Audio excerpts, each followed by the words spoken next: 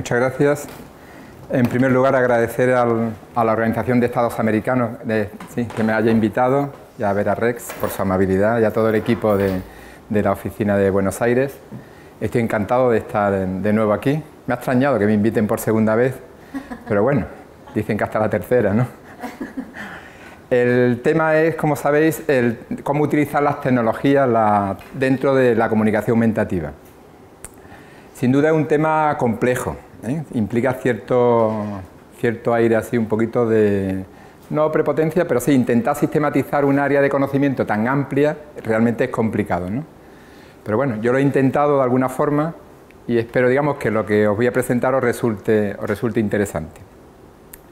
En España, en el año, yo creo que fue el 2001, se hizo un congreso en Valencia que coincidiendo con el año que era el 2001, se llamaba 2001 Odisea en la comunicación, imitando la película.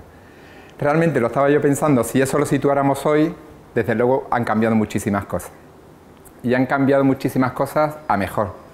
Es decir, la comunicación hoy día es fundamental, yo creo que nunca nos hemos comunicado tanto, no sé si eso implica eh, mayor grado de interacción a nivel significativo, pero sí la comunicación es un hecho, entonces eso lo tenemos a nuestro favor pensando en la comunicación mentativa. Después también los equipos han mejorado, son más versátiles, son más portátiles, cosa que hace 2001 Odisea en la comunicación, pues realmente aquello no era lo que es hoy. O sea que en principio vamos, si fuera un barco, vamos con el viento a favor y lo que hace falta es diseñar las estrategias más adecuadas para que el resultado sea, sea el mejor posible yo voy a dividir mi presentación en dos bloques. Por una parte la definición de comunicación mentativa y por otra parte las estrategias de optimización. El, entrar en el tema de la definición, yo no soy nada propenso a, buscar temas filosóficos, porque soy bastante práctico, me parece. Pero me parece que es interesante porque justo la, la semana pasada estuve con un grupo hablando de temas de comunicación mentativa de 22 alumnos y les pasé una, encuesta sobre qué era comunicación mentativa. Eran docentes, profesionales, y realmente la respuesta que obtuve, la verdad, fue bastante eh, sorprendente, ¿no? En el sentido de que parecía que todos no estamos de acuerdo en lo que es comunicación mentativa. Entonces yo he puesto en el margen derecho eh, las palabras que me parecen claves a la hora de hablar de comunicación mentativa. Eh, verbal, si una, algo es verbal, si una comunicación es verbal o no es verbal, si una comunicación es vocal o no vocal, si necesita soporte físico o no necesita soporte físico, si necesita aprendizaje y la conclusión final sería que si es comunicación aumentativa. Entonces a este grupo de profesionales les puse la parte de la izquierda, lo estamos viendo, les puse eh, si la lengua de señas era comunicación aumentativa, si el sistema dactilológico, que utilizan sobre todo las personas con, eh, con, si la escritura, si los tableros de comunicación era comunicación mentativa, si el mimo también era comunicación mentativa, si un semáforo es comunicación mentativa.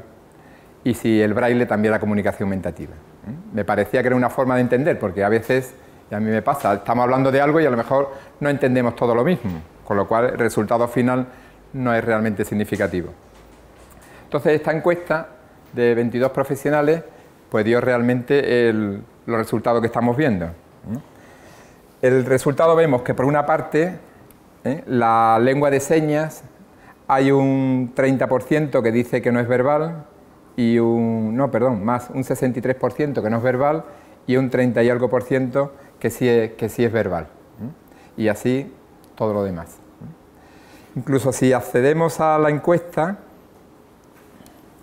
al principio hace una definición de lo que entendemos por verbal, lo que entendemos por vocal. Verbal, como usa la palabra con significado, bien hablado, signado, también me faltaba ello, escrito. No verbal, cuando usa elementos ajenos al sistema lingüístico. Vocal, que se expresa mediante la voz, y no vocal, que se expresa mediante la articulación de palabras, pero no, de forma oral. Entonces me parecía interesante al empezar esta charla que nos pusiéramos de acuerdo qué entendemos por comunicación, eh, comunicación aumentativa, ¿no? porque a partir de ahí quizás se puedan diseñar las estrategias con más seguridad en unos casos que en otros. Yo he tomado ahí la definición de Tamarit y Sotillo, lo he adaptado un poco a las circunstancias y me parece interesante, eh, empecemos por la definición que dan estos dos autores, dice conjunto estructurado de códigos, es decir, que la comunicación aumentativa estamos hablando de códigos. Si hablamos de códigos quiere decir que es algo que necesita traducción. Un código, la definición sería algo así como que necesita un, saber realmente las claves para comprenderlo. Verbales y no verbales. ¿eh?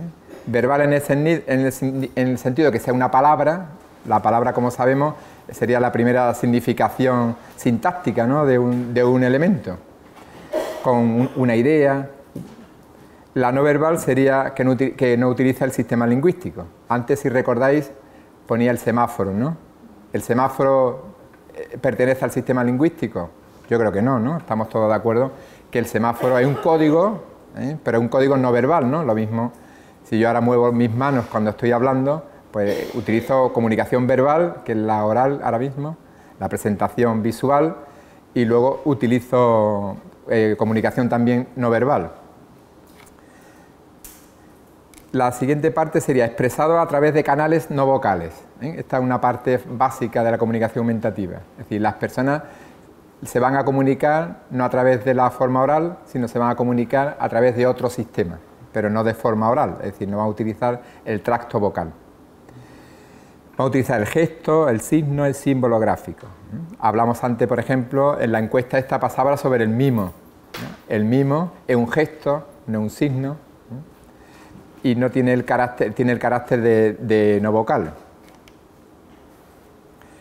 Necesitado o no, de soporte físico. Eh, ¿Se entiende en ese sentido el soporte físico? Si la persona, además de, su misma, del mismo individuo, necesita algo externo. ¿eh? Por ejemplo, las personas sordas que utilizan la lengua de señas no necesitan ningún soporte especial, son ellos mismos los que son el elemento de comunicación. Necesitan un aprendizaje, necesitan un, control motriz para hacer los, signos correspondientes, el signado, pero sí, desde luego, no necesita eh, ningún elemento externo. El braille, por ejemplo, que lo ponía anteriormente, supongo que pensáis también que necesita un soporte, es decir, el braille necesita un soporte donde, donde tiene la información. Ese soporte, como sabemos, puede ser papel, pero también hay elementos digitales, como puede, digitales, pero también sobre todo elementos mecánicos, como son la línea braille, ¿no? con los ocho puntos de braille, donde se manifiesta de alguna manera el braille, pero necesita un soporte. Los sistemas pictográficos, las láminas, pues necesita también soporte. Mediante proceso específico de instrucción. Eso es, muy importante. Vamos, todo lo que estoy diciendo es importante, cada una de las palabras, pero que realmente es significativa porque va complementando y de alguna manera nos va definiendo. Mediante procesos específicos. Por ejemplo, veíamos el mimo, ¿no? entre la diferencia entre el mimo y la lengua de señas. Yo creo que claramente entre uno y otro es que el mimo no necesita proceso de instrucción.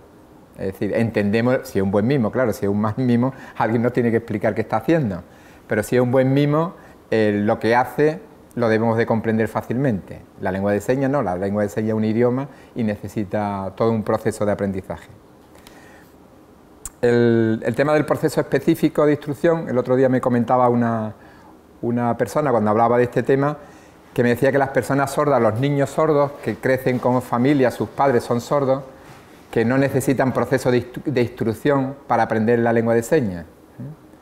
¿Mm? Yo lo entiendo en el sentido, yo sé que todo esto siempre es bastante resbaladizo, ¿no? Yo lo entiendo en el sentido del habla, por ejemplo, ¿no?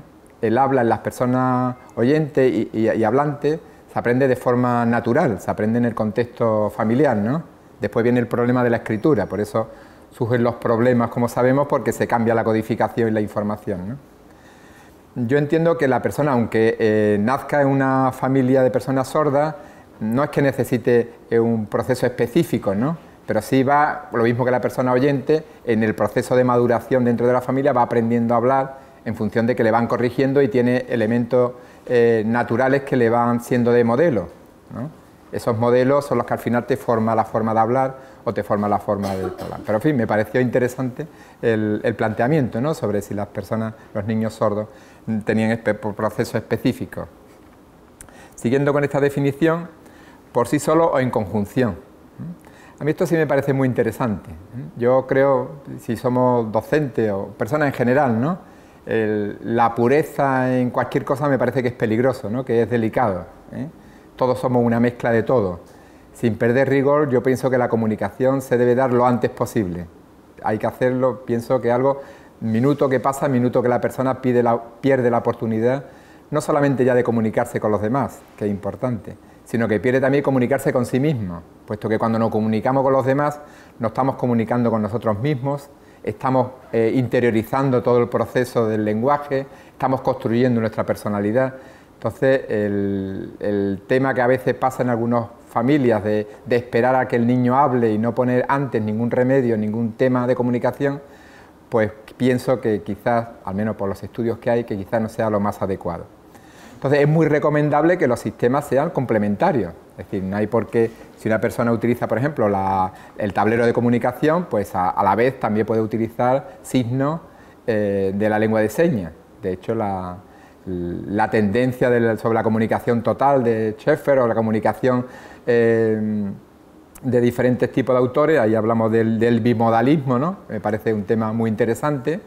Me acuerdo perfectamente de una, compañera de la Universidad de Córdoba en España que por un problema de, un problema que tuvo de garganta, pues no, no, podía ya comunicarse oralmente, pues claro, en la edad adulta es complicado aprender la lengua de señas, sobre todo también porque, la, porque su entorno no estaba familiarizado con el tema.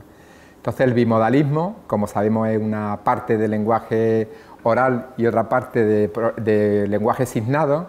En el, en bimodalismo lo que manda es la lengua hablada, es decir, lo que manda en el sentido de que es lo que va indicándonos el camino, ¿no? Entonces esta persona a través del, bimodalismo pues consiguió tener con su familia una comunicación bastante acertada. O sea que es un sistema de comunicación que pienso que para los oyentes nos facilita bastante el poder incluirnos dentro del mundo de las personas que utilizan el, sistema de, señas. Lo mismo que la palabra complementada, ¿no? que también facilita digamos, la comprensión sobre todo de la, de la lectura labial por todos los aportes que ofrece cuando se está comunicando a las personas. Pienso que son todas ideas para que la comunidad sorda y la comunidad hablante pues seamos lo más fácilmente incluidos. ¿no? Yo sé que todos estos temas crean mucha polémica y crea, pero en fin, yo lo digo con toda cordialidad, en el sentido de que contra más cerca estemos todos, contra más mezclados, sin perder el rigor, pues pienso que esas cosas facilitan después, después la comunicación. Bueno, pues yo ofrecía este, esta definición general que me parece, a mí me gusta, posiblemente se pueda mejorar y se pueda añadir alguna, algún aspecto interesante, pero me parece que define lo que es comunicación aumentativa y lo que no es. A la comunicación aumentativa se le llama también a veces comunicación aumentativa y o alternativa. En la práctica se intenta ya hablar solo de comunicación aumentativa, sin, decir la palabra alternativa. Simplemente por un tema práctico, ¿no? De los nombres largos son difíciles de decir, a veces nos confundimos también y a veces también hace creer como que este tema es algo eh, un poquito exotérico, en el sentido de que es algo muy especial, ¿no? y simplemente son personas que necesitan apoyo, hay que dárselo porque no tienen comunicación oral, que hay que enseñar el proceso, que hay que diseñarlo y adelante. Si buscamos palabras extrañas, pues siempre pienso que para muchas personas se pueden sentir retraídas. Eh, se llama comunicación alternativa cuando sustituye totalmente al habla, como es la lengua de señas, el braille o el morse. Y comunicación aumentativa, pues los sistemas complementarios, ¿no? el bimodal, los sistemas pictográficos, la palabra completada. Yo he puesto ahí el caso de, Vanessa, de 8 años, con discapacidad intelectual, con buena comprensión del lenguaje, que tiene dificultades para, utilizar el habla. Entonces Vanessa lo que hace es utilizar la lengua de señas y también utiliza los tableros. ¿eh? Es una cosa complementaria una de otra. También a veces se utiliza con personas disléxicas ¿eh? La figura del signar algunas palabras le ayuda a veces a comprender los textos que no son, que no son escritos. Entonces hay un sistema, es curioso, porque la lengua signada, por ejemplo, de, la lengua, de las personas sordas, para, para una persona sorda es alternativo, y para personas disléxicas es aumentativo. Entonces las clasificaciones muchas veces no se cumplen exactamente. Yo creo que todos tenemos una idea general de por dónde vamos. Entonces yo lo que voy a tratar en esta pequeña charla es algo que creo que se circunscribe bastante a Julia, una chica colombiana, que es, voy a tratar de personas que utilizan tableros de comunicación sobre todo, bien con pictograma, con fotografía o que utilice tableros silábicos, cualquier tipo. Entonces me voy a circunscribir a ese aspecto, sobre todo desde el punto de vista tecnológico, por, por la ayuda que supone el utilizar tableros de comunicación ¿eh? y utilizar sobre todo el tema de las tablets o de los celulares, que realmente es una revolución dentro de la comunicación aumentativa. ¿eh? Hasta hace unos años había que comprar caros comunicadores, difícil de transportar y sobre todo que no tenían algo muy fuerte que tienen los celulares o las tablets, que es la conexión a Internet. ¿eh? Cualquier persona eh, que tenga dificultades de comunicación, pensemos en un adolescente, lo que quiere es comunicarse con sus amigos. Entonces, eh, tenemos ahí algo donde empezar a tirar, a tirar para llegar hasta donde queremos. Entonces, eso hasta ahora con los comunicadores no se podía hacer, ahora con las tablets y con los celulares sí. Entonces, podemos a partir de ahí ir intentando ver hasta dónde, hasta dónde podemos llegar. La definición yo creo que ya estamos más o menos de acuerdo, ¿no? Vamos con la estrategia de optimización. Forzosamente, eh, ofrecer una estrategia de optimización de algo tan complejo como es la comunicación es un poco atrevido. Quiero decir, yo lo hago con toda mm, modestia en el sentido de que lo que yo creo, y más que nada quizá efectos didácticos, ofrecer en esta charla aquellos aspectos que me parecen más importantes, pero que no tiene por qué ser, no es, no, no tiene por qué ser, no es, así exactamente, pero sí creo que nos puede ayudar a, a discutir algunos temas después si queréis la parte de debate. El primer punto que he puesto ahí, evaluación dinámica y reforzadores. La idea que creo que, compartimos todos es que hay que saber de dónde partimos. Es decir, si vamos a utilizar la comunicación aumentativa con una persona, lo primero que tenemos que conocer a la persona. Y no solamente ya a la persona, sino a la familia. Y no a la familia, sino a la escuela. Y no a la escuela, sino al barrio.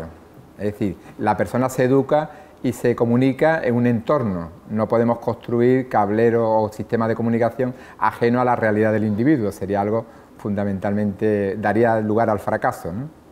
Después puesto el siguiente punto, construir las láminas de comunicación y voy a mostrar algunos recursos, seguramente muchos de vosotros los conocéis, que nos pueden ayudar a construir las láminas.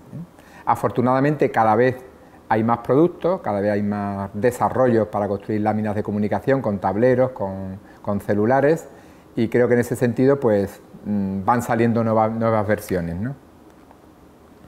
Después hablaré del tema de las rampas, es decir, podemos diseñar, podemos partir de la realidad, que sería la evaluación dinámica y reforzadores, construir unas láminas que de acuerdo con las características del individuo les pueden ayudar, pero el siguiente paso es cómo accede a esas láminas.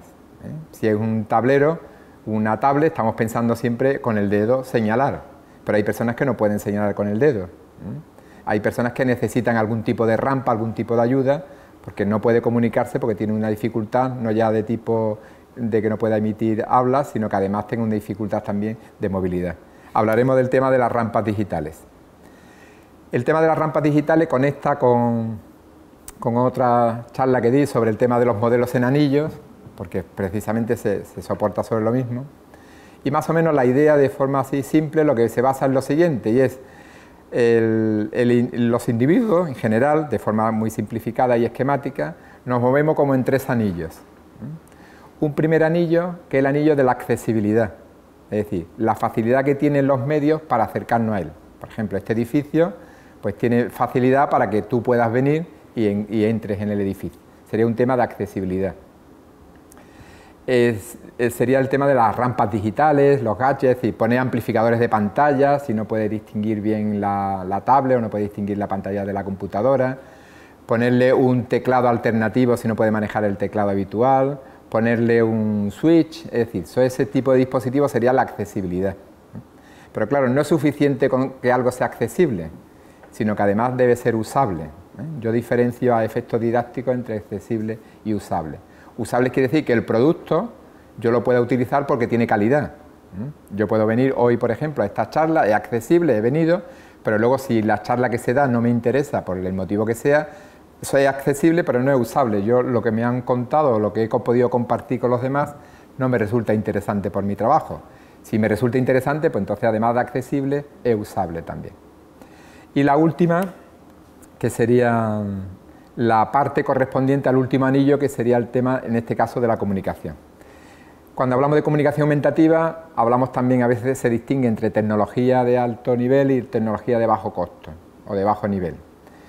A mí, más que llamarlo de bajo nivel, yo le llamaría ayudas técnicas, ¿eh? puesto que la tecnología implica ciencia detrás y a veces la ayudas técnicas es simplemente un licornio, en fin, no implica un desarrollo científico detrás, pero bueno, tampoco... Entonces muestro ahí una serie de dispositivos, se ve un switch, se ve una serie de elementos, ¿eh? vemos cómo hay una hay un refuerzo de la parte visual con la parte auditiva y la parte táctil, que me parece muy interesante. Son recursos de bajo costo y que hacen muchos docentes en muchas escuelas, con mucho sacrificio, con mucho esfuerzo, sobre todo con mucha imaginación, ¿no? Lo hacen. El siguiente tema también, pues, a través de, Switch, yo he traído aquí algunos, pues a través del Switch y las adaptaciones del mouse, que después veremos cómo se hace. Podemos conectar un switch, que es simplemente un movimiento voluntario, lo podemos conectar mediante un mouse, que hemos hecho aquí una adaptación muy sencilla. Como sabemos, los ratones tienen dos, bueno, pueden tener más botones, pero en principio tiene dos botones principales, el izquierdo y el derecho. Entonces esto simplemente es un botón, un clic, como el interruptor de la luz. Entonces lo único que podemos hacer es, lo que hacemos es, lo abrimos, de ahí sacamos un pequeño cablecito y conectamos aquí, esto lo conectamos aquí y con un switch, luego veremos cómo, cómo funciona. Es un sistema muy barato y no trae ningún, ningún problema. Ahí vemos una docente ¿no? Eh, capacitándose adaptando unos switches. En 10 o 15 minutos se puede hacer fácilmente y es de, y es de bajo coste. Entonces el último elemento que es el más complicado pues el aprendizaje espontáneo y la comunicación interactiva, que es donde queremos llegar, que no es fácil. Bueno, empecemos con la evaluación, la evaluación dinámica y los reforzadores. Mm, la evaluación, como simplificando también, se puede hablar de una evaluación estática y una evaluación dinámica. Pero eso en general, yo creo que nos pasa a todos cuando tenemos eh, chicos en el aula ¿no? y queremos trabajar con ellos. ¿no? Podemos tener un informe de evaluación del psicopedagogo o del equipo profesional correspondiente, pero yo creo que a ninguno nos gusta, no, nos satisface aquello, porque eso nos dice lo que no es capaz de hacer. Es decir, nos dice que tiene estas características, ¿no? pero lo más difícil es saber a dónde podemos llegar. Entonces, la comunicación hay que intuir que hay algo detrás de ese informe, de ese estado estático. Entonces, se trabaja sobre todo en el tema de proceso. La, Marta Snell y su equipo de la Universidad de Virginia hace unos estudios muy interesantes, al menos a mí me lo parece, sobre el tema de la evaluación en proceso, la evaluación dinámica, que es intentar hasta dónde se puede llegar esa persona, no solamente lo que, lo que es, sino lo que puede llegar a ser. ¿eh?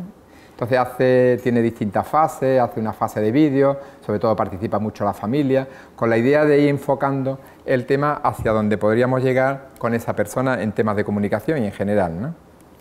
Yo creo que también ahí vemos a Nelson, ¿no?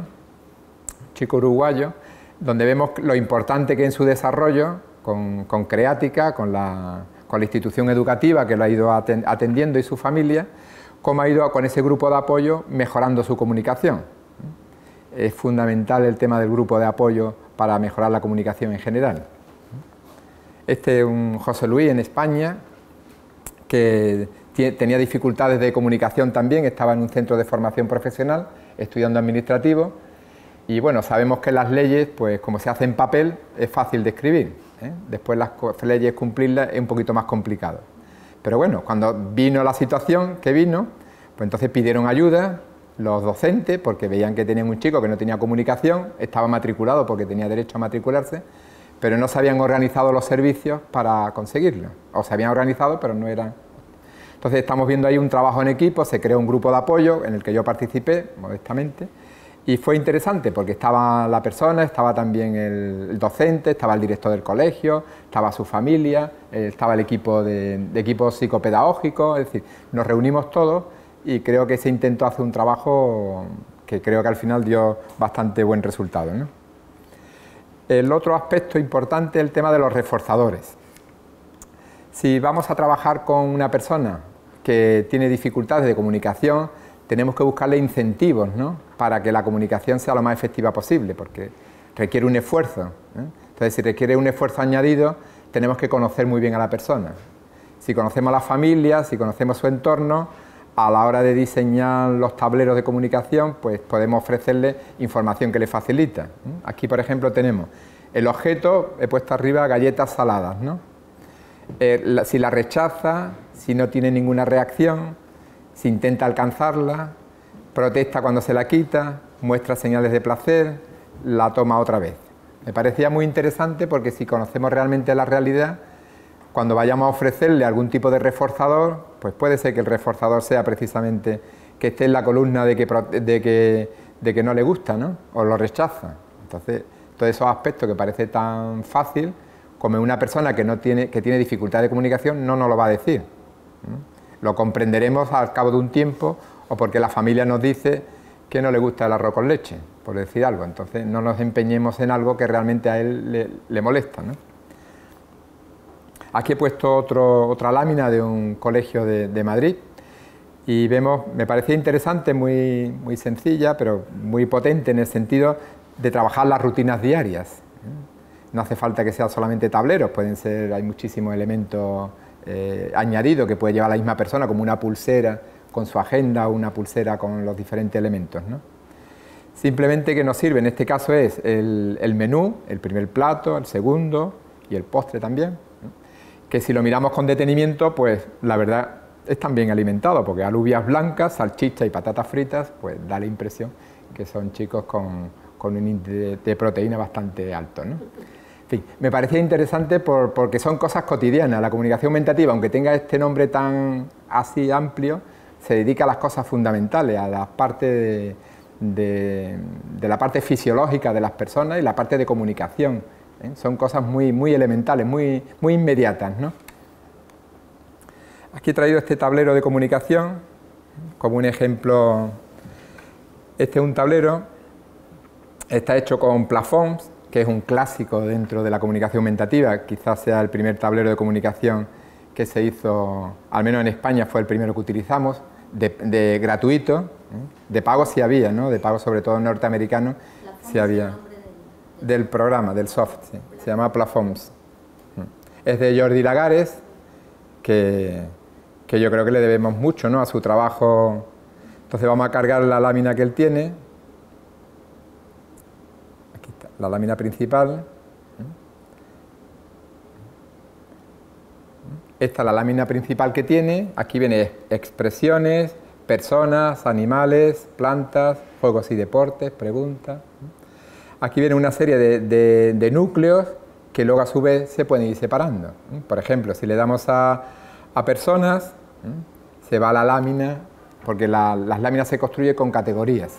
Se va a la categoría principal y de ahí se va a las otras categorías. Luego con la tablet nos iremos también a algunos programas y veremos cómo, funciona. Fijaos que la parte superior son eh, son figuras muy ilustrativas y en la parte inferior son más abstractas. ¿eh? Posiblemente esté entoblada del Bliss y el, de arriba pues me recuerda, no es exactamente el SPC ni el Arasac, pero me recuerda bastante. ¿Mm? Aquí me parece interesante cómo funcionaría con el switch y con el, con el adaptador. ¿no? Lo que hacemos es, ¿eh? conectamos la... aquí que se vea, conectamos el, ratón a la entrada de la máquina, luego el switch, lo conectamos aquí, vamos, nunca ha funcionado, pero supongo que hoy funcionará, ¿Eh? lo conectamos aquí, y aquí hay una opción de control, que es control por, por barrido automático. Entonces se van iluminando las filas y la persona lo que tiene que ir se gradúa la velocidad, el sistema de, barrido puede ser muy diferente unos de otros, ¿no? Y lo que se hace es, la persona que lo va a usar espera al momento. Entonces cuando llega el momento, por ejemplo, que quieres chico, presiona, ah, mira, ha funcionado, presiona eh, la emoción del directo. ¿eh? Lo iba a grabar, pero digo, no, mejor vivo la emoción de, ¿eh? Cuando llega chico, espero que llegue allí ¿eh? y se escucha la voz sintetizada. Este es un sistema de barrido con un solo movimiento voluntario. En las computadoras de sobremesa es fácil encontrar sistema de barrido. En el tema de las tablets, para Android todavía no tenemos sistema de barrido que funcione bien. Para iPad sí existe, pero vale un poco caro, vale sobre 200 euros, una cosa así. Entonces todavía tenemos que esperar. Simplemente le da, ya dije. Esa es la voz sintetizada. Pues mostraba esto para que veamos el sistema de barrido de una, de una lámina. ¿no? Le digo que la lámina puede ser como la que estamos viendo, puede ser de tipo eh, ortográfico, silábico, la que queramos. Bueno, vamos con el segundo paso, construir selección de símbolos, es decir, qué símbolo elegimos. Como comentaba anteriormente, el elemento fundamental es conocer el entorno en el que se desarrolla la persona. ¿no? Entonces, la selección de símbolos hay una base de datos, que supongo que muchos la conocéis, que es la de Arasac, ¿eh? que es del gobierno de Aragón, que hasta también, hasta hace muy poco, pues los símbolos para conseguir los pictogramas había que comprarlos. ¿eh? Y durante un tiempo, me acuerdo, durante un tiempo el gobierno de Cataluña compró lo del SPC de Margaret Johnson, lo compró en catalán, y claro, los que éramos amigos, teníamos contacto, pues al final los conseguíamos, ¿no? Y teníamos todos los chicos de España aprendiendo catalán, utilizando los sistemas de comunicación aumentativa, ¿no? Pero en fin, ya con el tema de los pictogramas de Arasac, pues ya esto es gratuito, es libre, abierto, con lo cual se puede utilizar sin mucho, sin mucho problema. Entonces, lo que podemos hacer con las láminas son las láminas de comunicación, que antes he mostrado una, esa grande que se veía que podían estar, las agendas visuales, que también otro recurso interesante, y luego los procesadores visuales. Si queréis de procesadores visuales, os voy a enseñar uno, eh, el ADAPRO, no, no, precisamente porque no es el procesador visual más potente, ¿no? que ofrece cuando escribimos un texto, aparece la correspondencia en pictograma pero sí ofrece algunas ventajas que me parece importante. Eh, es más potente, por ejemplo, el AraWord, es más potente que este, porque además últimamente ya tiene otras funcionalidades que yo creo que lo hacen más potente. Pero este tiene algo que me parece muy interesante. Esto está desarrollado por el gobierno de las Islas Canarias, un proyecto.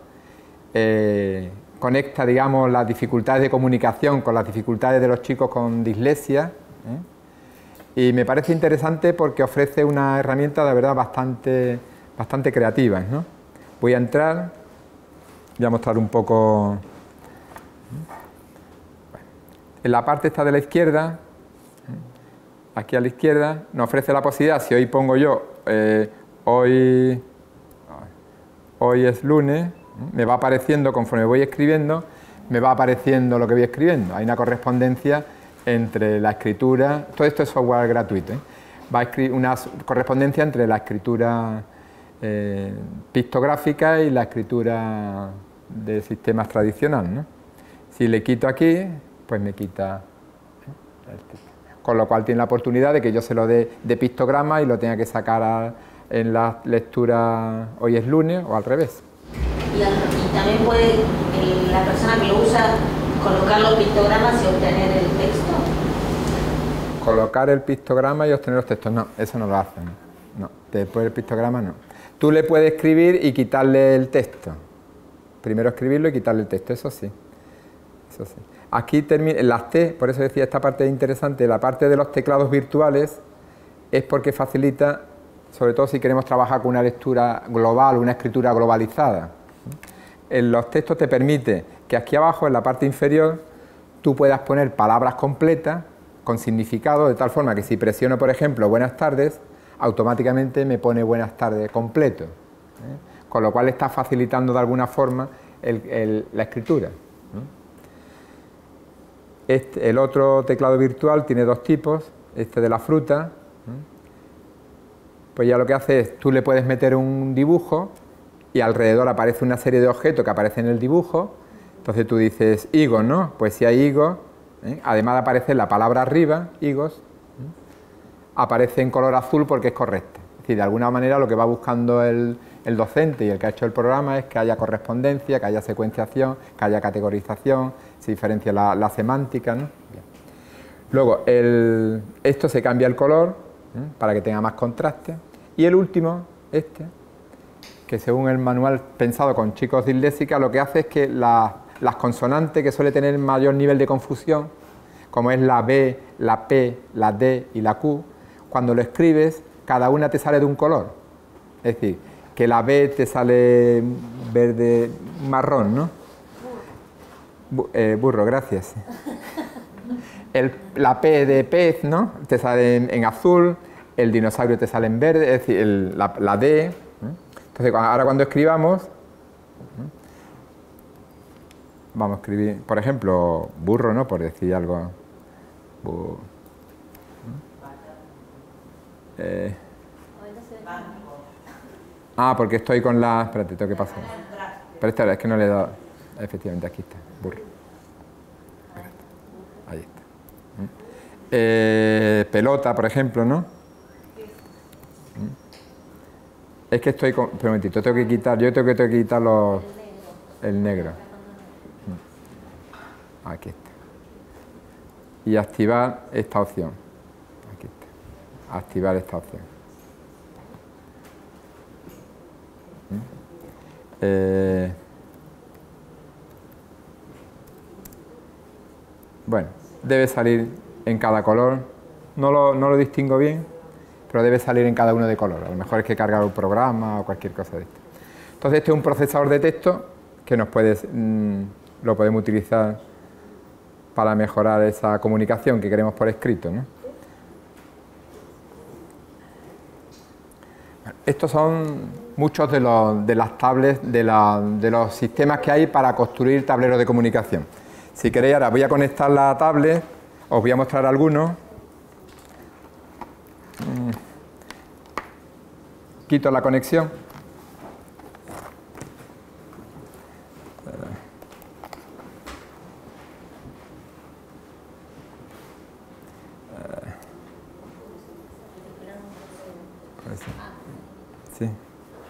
No, la idea es que se puede trabajar el, alumno con el docente o el alumno puede trabajar con otro alumno que sí conoce la escritura. Entonces lo que se trata es de que una persona va a entender el, pictograma y otra persona va a entender el texto, en ese sentido. Es decir, el que no tenga, eh, no tenga la escritura con el otro, pero va a ver que el dibujito ese corresponde a esas letras, que no entiende las sílabas, pero sí sabe el dibujito de las letras, no sé cómo decirte. Por eso se hace así, pero es muy interesante, claro. Sí, sí, así. Tomamos la tablet, voy a ver, por ejemplo, el, el ¿no? El Araboard, que también es gratuito, funciona con Android, eh, tiene dos opciones. Una es esta, que es el Araboard Constructor, que es para construir los tableros. Se definen las columnas y las filas dándole en esta parte inferior. Y luego cuando queremos buscar un signo, por ejemplo, eh, un pictograma, pues le damos para acá. ¿Qué pictograma queríais buscar? Comer. Comer. Se nota la hora. ¿Eh? Le damos aquí a comer y le damos aquí. ¿Eh? Y ahora automáticamente la ventaja que tiene este programa es que automáticamente se conecta con la base de datos del Arasac. ¿Eh? Yo no tengo nada aquí guardado, le doy a la lupa, a la búsqueda. O sea, trabaja con Wi-Fi. Efectivamente efectivamente. Y automáticamente me sale lo que hay en el Arasac ahora mismo. Sí, bueno, mm, mm, si la tiene, lo hace así. Si no la tiene, ahora explico cómo se hace si no tienes conexión. Ah. ¿Eh? Ahora, hago clic aquí, ¿eh? la pongo, por ejemplo, vamos a suponer que quiero ponerlo aquí. ¿Eh? Ahí lo pongo. Si como tú dices, no tengo conexión, hago clic, he hecho clic, no sé si se ha visto, he hecho clic, puedes ponerle el nombre y subirte una imagen. ¿Eh? La tienes que cargar primero. O si quieres puedes hacer una, foto también. Claro, Efectivamente, yo voy a sacar una foto vuestra. Pose de tubitas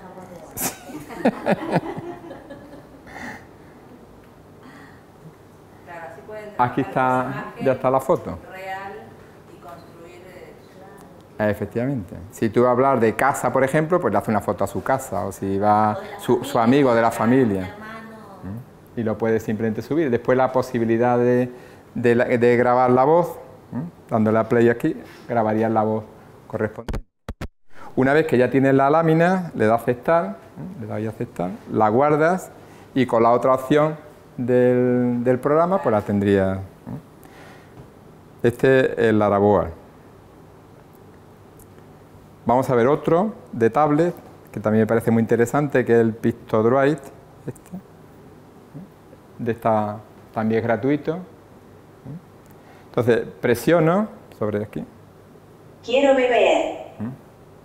Chocolate. Quiero jugar. Vale. Y aquí tiene la posibilidad, dándole aquí en la parte de la derecha, de configurarla. Este es un programa más potente que el Araboa, en el sentido que permite incluirle categorías, subcategorías, que el Araboa, al menos la versión actual, yo creo que no lo permite. Entonces le doy aquí a gestor de pictogramas, te salen todos los pictogramas y tú puedes decir cada uno de esos pictogramas y luego si le das a la rueca esta de configuración, ya puedes decirle eh, si va a ser una categoría o no, dentro de qué categoría lo va a incluir, el color del marco. ¿eh? Es bastante flexible. Esta es una versión que han sacado hace poco y me parece que está bastante, bastante bien. Sí, Picto, escri- escrito Pictodroid. ¿eh? Pictodroid. Droid. Dro- con D, D-R-O Droid. ¿La? ¿Puedo, puedo grabar la conferencia? Sí, sí, para mí sí, sí. Los que son estos que están dando que son para tablet, sí. pueden ser utilizados para eh, portátiles. Este, este sí, me parece que sí tiene versión. La idea de todos los fabricantes es que sean portables, es decir, que sea utilizable en cualquier tipo de soporte. Esa es la idea que tiene. Si a lo mejor hoy, perdona que te interrumpa, si a lo mejor hoy no lo es, no quiere decir que lo van a intentar, lo intentan por todos los medios. Te Y escucho. para celular también hay. Sí, este por ejemplo con Android, para un celular que tenga Android te funciona perfectamente. Sí, sí.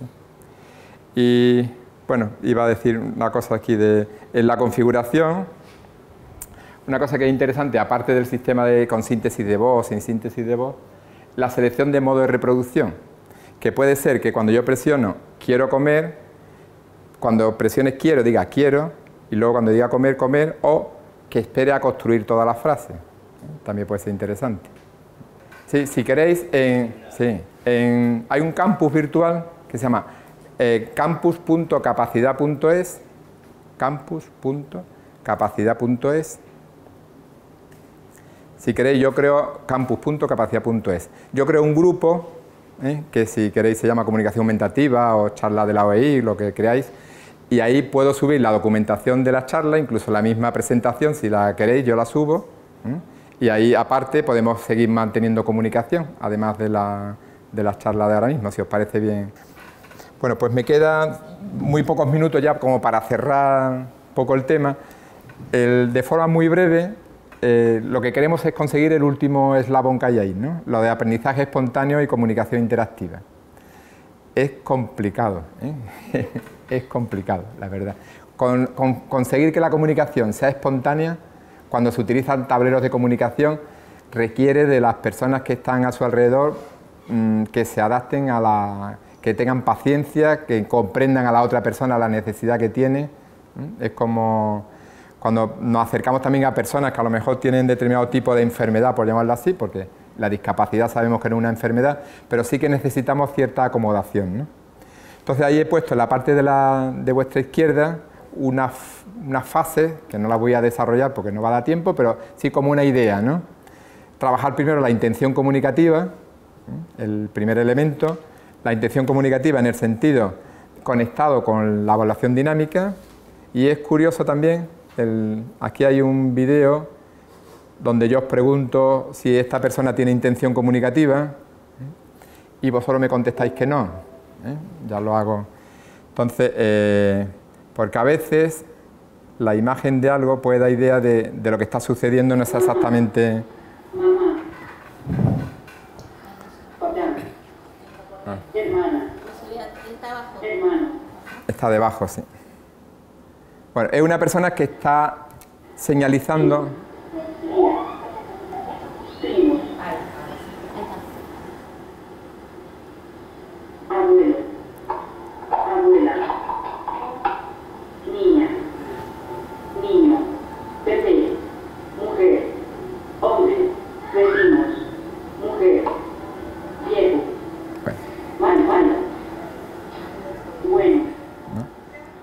A mí me parece, al menos viendo el, el vídeo, que no hay intención comunicativa. Es decir, va pulsando como podía pulsar cualquier otra cosa. Entonces, aparentemente puede dar la impresión que está ocurriendo, que ella quiere mostrar algo. Sin embargo, yo creo, y me parece que viendo al menos el vídeo, pensamos que quizás no sea, no sea así. Bueno, aquí sí hay intención comunicativa. Esto de un, un chico de Chile, con un reforzador. No sé si este también va a aparecer detrás.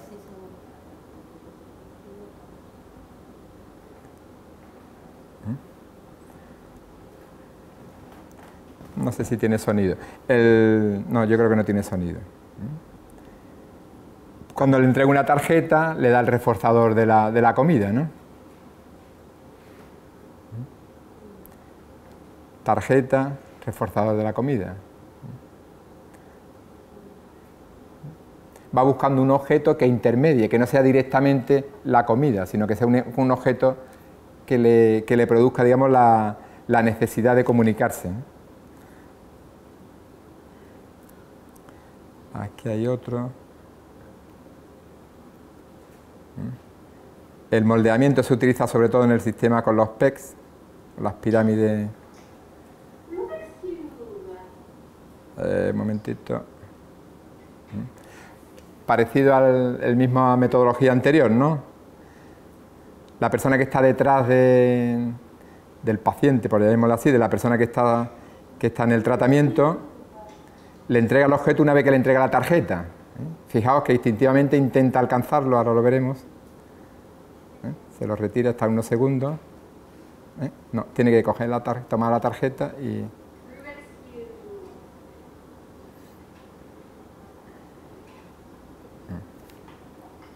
Vale. Entonces, esos son procesos para trabajar la intención comunicativa.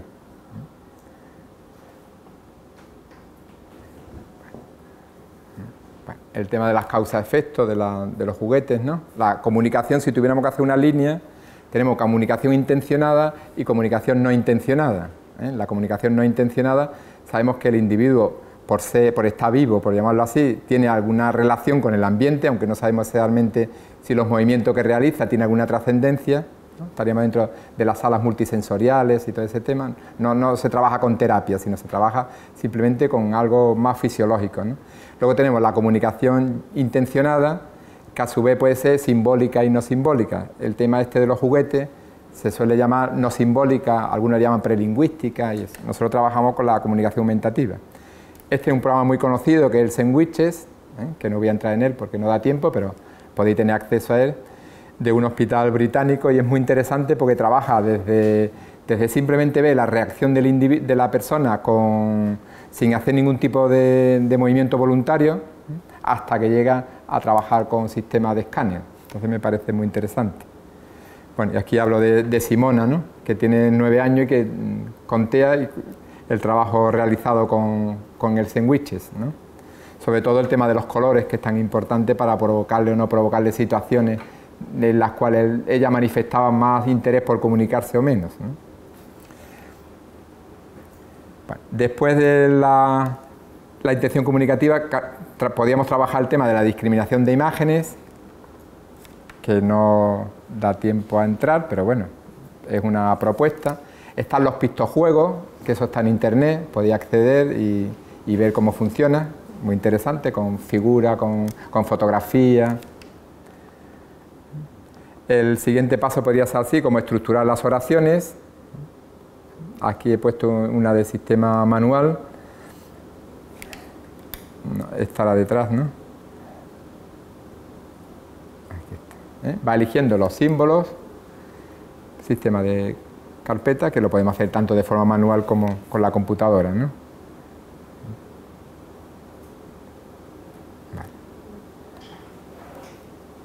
Y por último, estaríamos en el tema ya de comentar, que sería el último eslabón dentro de lo que podría ser la comunicación. Es decir, empezar por cosas muy sencillas hasta el final, si queremos alcanzar el aprendizaje espontáneo, pues conseguir de alguna manera llegar a la fase ya de, que la persona ya comente, que tenga iniciativa, ¿no? que es lo más complicado, pero es el objetivo final.